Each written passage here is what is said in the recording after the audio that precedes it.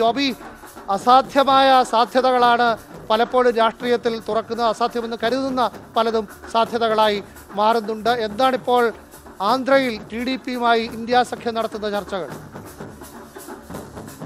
രാഷ്ട്രീയം അവസരങ്ങളുടെ കലയാണ് എന്ന് പലപ്പോഴും പറയാറുണ്ട് വിനു. അത് ഉപയോഗിക്കാനുള്ള ശ്രമം കോൺഗ്രസ് നടത്തുകയാണ്. ഇപ്പോൾ ഒരു പരസ്യമായ ഒരു തുറന്ന വാഗ്ദാനം ആന്ധ്രാപ്രദേശിന് നൽകുന്നതിലൂടെ ചന്ദ്രബാബു നായിഡുവിനെ ഉന്നമിടുകയാണ് കോൺഗ്രസ്. കഴിഞ്ഞ പത്ത് വർഷമായി രണ്ടായിരത്തി പതിനാലിൽ രണ്ട് സംസ്ഥാനങ്ങളായി വിഭജിക്കപ്പെട്ടതിന് ശേഷം ആന്ധ്രയ്ക്ക് പ്രത്യേക പദവി ലഭിച്ചിട്ടില്ല. ആ വാഗ്ദാനം നരേന്ദ്രമോദി നടപ്പാക്കിയില്ല എന്നുള്ളത് കോൺഗ്രസിന്റെ പ്രധാനപ്പെട്ട ഒരു വാദമായിരുന്നു ആയുധമായിരുന്നു.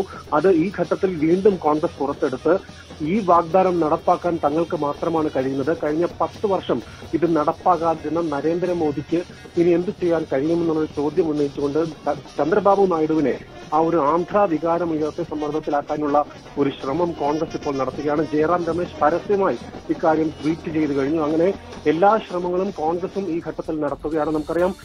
ഈ ചർച്ചകൾ ദേശീയ ചാനലുകളിൽ ഇത്തരം ചർച്ചകൾ ഉയർന്നു വന്ന നിമിഷം തന്നെ നരേന്ദ്രമോദിയും അമിത്ഷായും ചന്ദ്രബാബു നായിഡുവുമായി സംസാരിച്ചിരുന്നു. അതോടൊപ്പം തന്നെ ഈ സഖ്യത്തിന്റെ പ്രധാനപ്പെട്ട ശില്പിയായ പവൻ കല്യാൺ നേരിട്ട് അത് അവിടെ എത്തി അദ്ദേഹവുമായി സംസാരിക്കുകയും ചെയ്തു. അങ്ങനെ ചന്ദ്രബാബു നായിഡുവിനെ അങ്ങനെയുള്ള ചർച്ചകൾ നടക്കുന്നു. അവസാന ശ്രമത്തിലാണ് ഇന്ത്യ സഖ്യം വിട്ടുകൊടുക്കുന്ന